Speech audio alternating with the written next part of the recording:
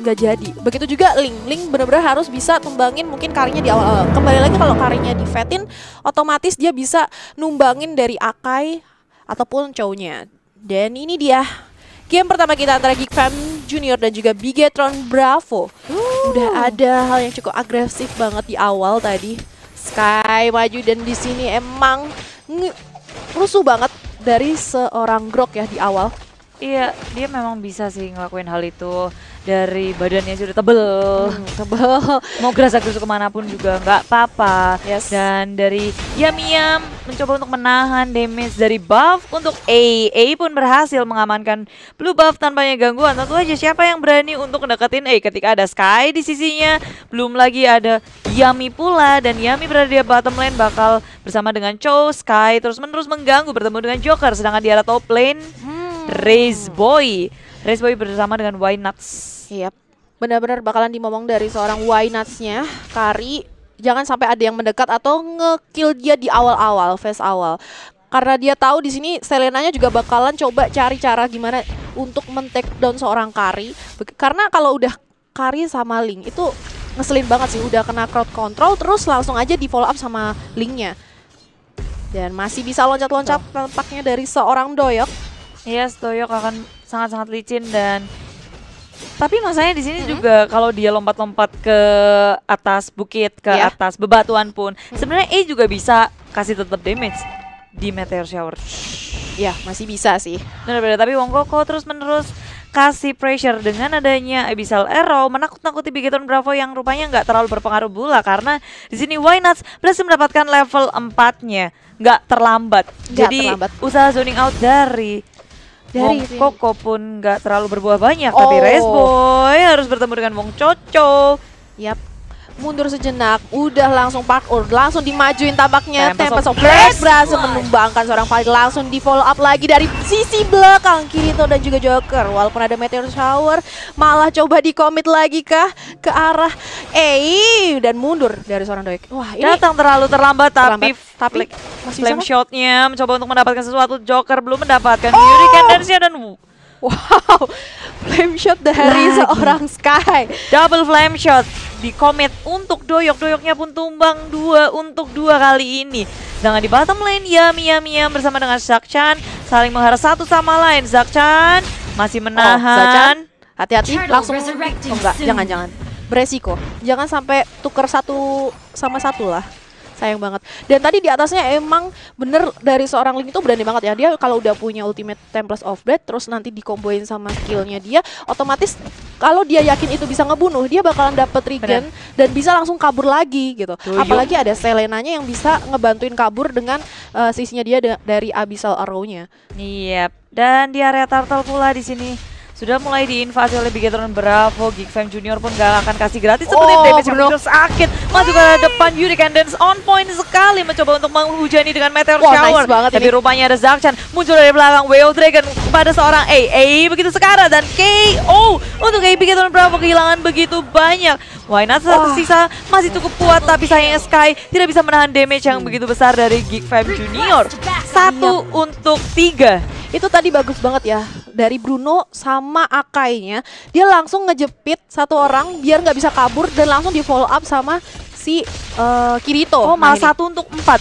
Satu Gila sih, ini petukannya satu untuk empat Nah, dari Yami. pertarungan barusan panjang banget.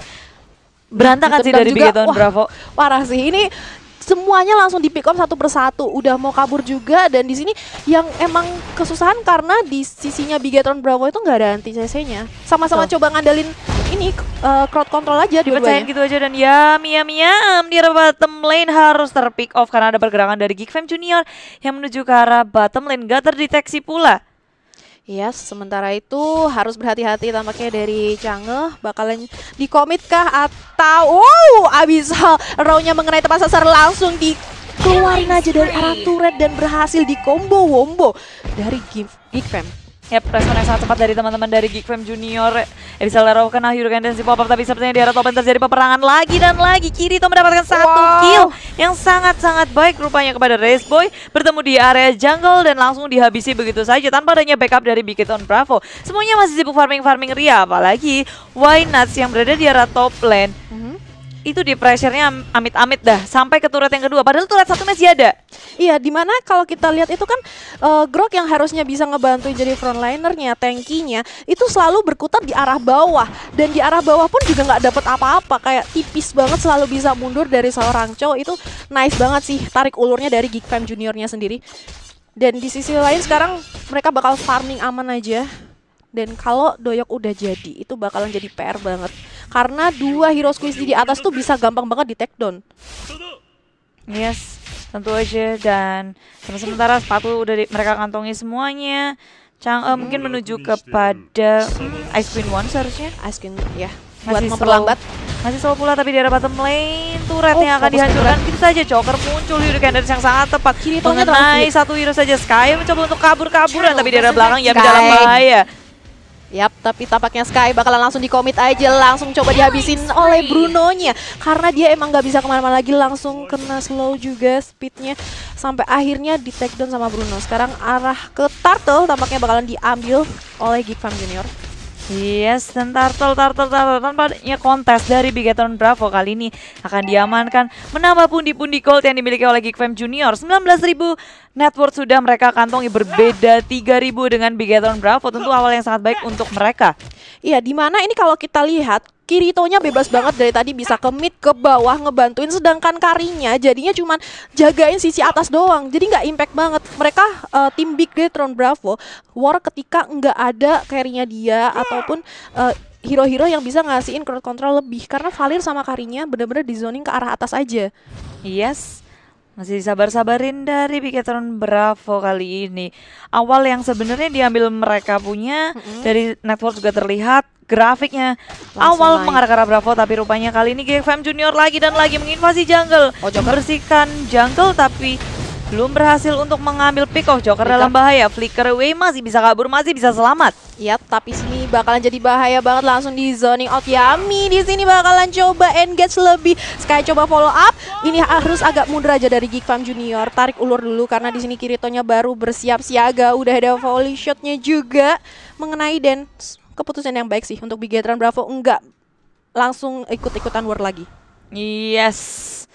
Bigatron Bravo tertinggal begitu banyak Kirito nggak mau kasih napas. Rupanya Kirito. surprise Meteor Shower berhasil dihindari oleh Kirito. Di tackle aja kabur dan terbuang sia-sia dari Meteor Shower milik A. Iya, belum kerasa banget dari A di sini. karena nggak ada lockdownnya juga sih.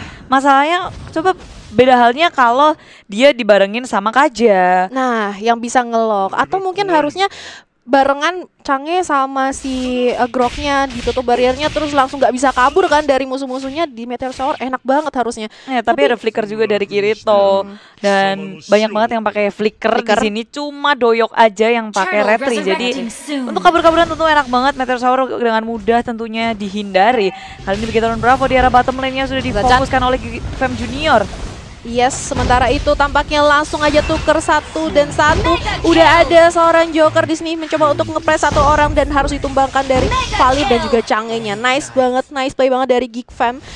Menyisakan Bener-bener seorang Yam Yam Yam yang akan menyusul sepertinya Tempest of Blade double kill didapatkan oleh Doyok. Di arah mid lane pun wipe out. Wipe Wow. out. Jadi Yami tertinggal seorang diri. Geek Fam gak mau kasih napas. Mereka mau hal yang bersih-bersih aja. Pokoknya udah dibersihin aja kita.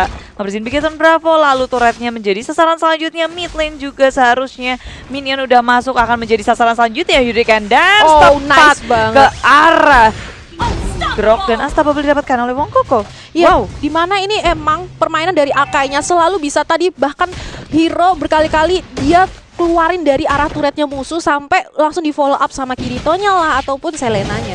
Ini baik dari Chow ataupun Akainya jadi inisiator yang baik banget sih untuk Fam Junior. Dan sekarang mereka bakalan fokus ke arah Lord yang ini bakalan jadi free aja karena udah di zoning out juga sama Akainya dari sisi uh, bottom lane dan gak ada yang bisa mendekat karena di situ minionnya juga masih jalan ke arah mereka. Yes, dan masih bisa diamankan oleh Geek Farm Junior permainan kali ini memberikan pressure yang begitu besar kepada Bigatron Bravo karena ka- sekarang mereka ngasih pressure-nya nggak tanggung-tanggung. Minion nggak boleh sampai ngelewatin batas sungai dari Farm Junior. Bahkan turret mereka juga masih utuh. Hanya kehilangan satu di arah top lane Bigetron Bravo nggak mendapatkan objektif sama sekali. Lord pun sudah bergerak ke arah bottom lane. Kali ini Bigetron Bravo harus mendefense dengan sangat baik. Doyok udah ngedapetin level 15. Ngepet dari mana Oh, yo? oh, Doyok, Doyok. 15 Wah Hey. ini bakalan lebih sakit lagi-lagi Seorang Joker langsung ngelok satu orang Dan bakalan ditumbangin empat orang sekaligus Di mana langsung cowoknya menzoning Biar bisa dapetin turretnya lebih aman di area mid lane Sekarang Lordnya juga bakalan ada di bottom lane Sementara dua orang lainnya baru jalan dari upper Dan langsung ditumbangin satu persatu lane. tampaknya Oh masih ada di sini Grong mencoba untuk berdah- bertahan Tapi tampaknya nggak bisa Bahkan seorang Kari belum jadi apa-apa Langsung aja harus mundur sejenak Karena mereka harus majuin minion di arah atas Ataupun juga mid lane-nya Jangan terlalu terburu-buru Yes, Kickfam Junior mereka tahu betul apa yang sedang mereka lakukan ketika sudah membersihkan top lane-nya gagal untuk melakukan pick off terhadap Boy Nuts. Sekarang mereka beralih kepada objektif yaitu di arah Mitten dan di arah top lane-nya. Sudah berhasil diamankan. Pilihan yang sangat tepat mereka mau make sure bahwa ada super minion yang masuk dan masuk ke arah dalam. Doyo Langsung begitu percaya diri overcommit Tempest di arah terakhiran belum ada yang berhasil dia take down tapi di situ Peace milik Bigetron Bravo pun hancur di Pengalihan. tangan Kickfam Junior. Wow, lagi-lagi game yang sangat cepat bisa dibilang. Ini main fast objektif banget, di mana benar-benar nggak dikasih